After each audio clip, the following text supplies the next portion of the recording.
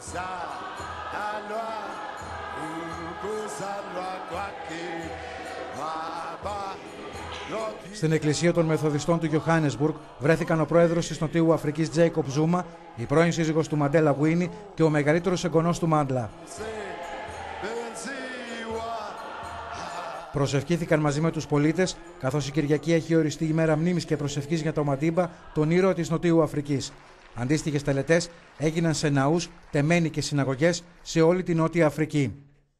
after this unprecedented loss in our country, Μετά από αυτή την πρωτοφανή απώλεια για τη χώρα μας, το θάνατο του πατέρα μας, του ηγέτη μας, του πρώτου Προέδρου μιας δημοκρατικής Νοτιού Αφρικής, του συμβόλου μας, θεωρήσαμε πως ήταν πάρα πολύ σημαντικό το έθνος μας και όλος ο κόσμος να θρηνήσουμε και να τιμήσουμε τη μνήμη του Νέλσον Μαντέλα, δήλωσε ο πρόεδρος της Νοτιού Αφρικής, Τζέικοπ Ζούμα.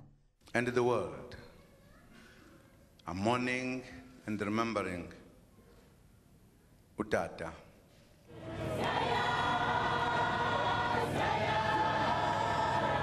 Το προσκύνημα των πολιτών στο σπίτι όπου άφησε την τελευταία του πνοή ο Μαντίμπα συνεχίζεται. Η κηδεία του Μαντέλα αναμένεται να είναι από τις μεγαλύτερες για αρχικό κράτους τις τελευταίες δεκαετίες.